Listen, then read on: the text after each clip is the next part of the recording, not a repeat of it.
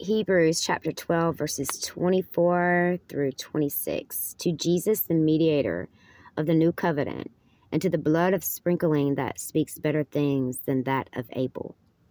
See that you do not refuse him who speaks.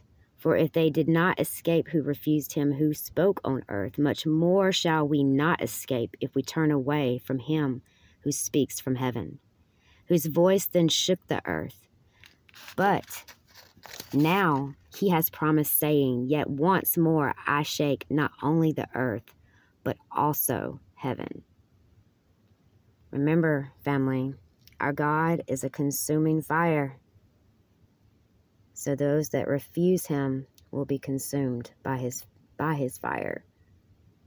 And that's something that is a very sad thing, you know, but you see a lot of people refusing and rejecting God. And here's a warning against such things.